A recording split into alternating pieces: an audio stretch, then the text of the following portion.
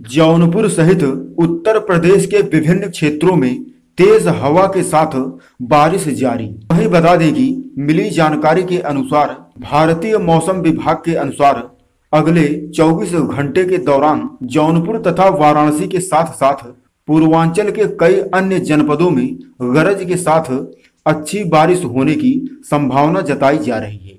वहीं पूर्वांचल के साथ साथ उत्तर प्रदेश के पश्चिमांचल क्षेत्र के कुछ जनपदों में भी अगले 24 घंटे के दौरान हल्की बूंदाबांदी देखने को मिल सकती है।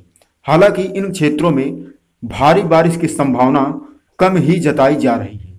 वहीं भारतीय मौसम विभाग के अनुसार बूंदाबांदी का सिलसिला उत्तर प्रदेश समेत देश के कई अन्य राज्यों में अगले 48 से बहत्तर घंटे तक जारी रहेगा, जिसके कारण इन सभी क्षेत्रों में तापमान में भी गिरावट देखने को मिलेगी।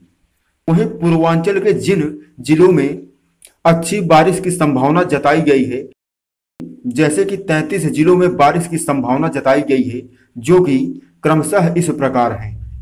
बांदा, चित्रकूट, कौशाम्बी, प्रयागराज, फतेहपुर, प्रतापगढ़, सोनभद्र, मिर्जापुर, चंदौली, वाराणसी, संत कबीर नगर, जौनपुर, गाजीपुर, आजमगढ़, मऊ, बलिया, देवरिया, गोरखपुर, कन्नौज, कानपुर शहर कानपुर देहात, रायबरेली, अमेठी, सुल्तानपुर, अयोध्या, अंबेडकर नगर, मैनपुरी, इटावा, झांसी, औरैया, जालौन, हमीरपुर, महोबा और ललितपुर हैं।